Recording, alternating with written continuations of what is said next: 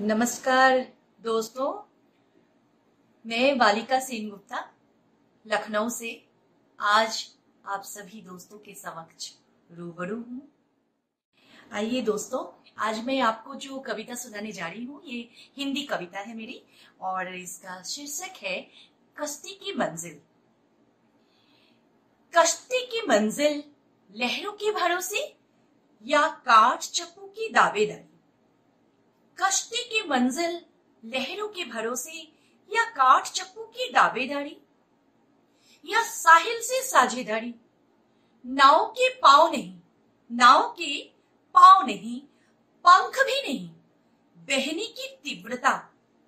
किससे कहे वो व्यथा? बहने की तीव्रता।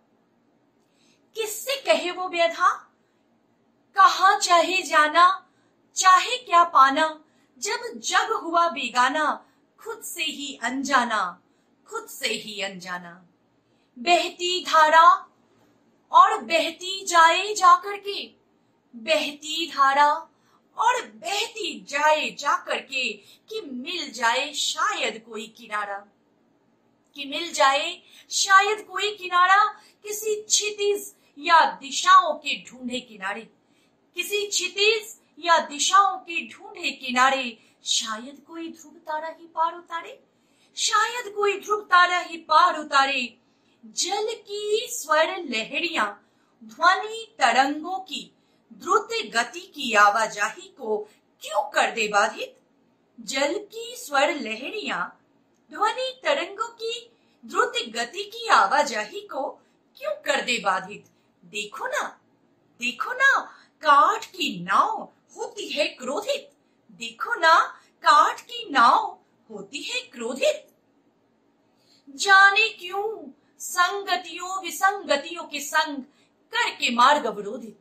जाने क्यों संगतियों विसंगतियों के संग करके मार्ग अवरोधित? आवागमन के हर दर्शन से बोधित। आवागमन के हर दर्शन से बोधित। अनंत जल राशि की पृष्ठभूमि को अनंत जल राशि की पृष्ठभूमि को कभी धूमिल, कभी अभिलक्षित, कभी गतिमान तो कभी जड़ चेतन की परिभाषाओं को स्वमेव करता परिभाषित। स्वमेव करता परिभाषित, कभी लहरों के संग, कभी लहरों के संग, कभी लहरों के विपरीत, कभी लहरों के संग, कभी लहरों के विपरीत, बहने की चेष्टा की पराकाष्ठा बहने की चेष्टा की पराकाष्ठा को करता प्रतिपादित। पल पल, तिल तिल आनंद में सदानंद के झूलों के परिप्रेक्ष्य में बढ़ता बढ़ता करता पटाक्षेप, बढ़ता करता पटाक्षेप समस्त झंझावातों की।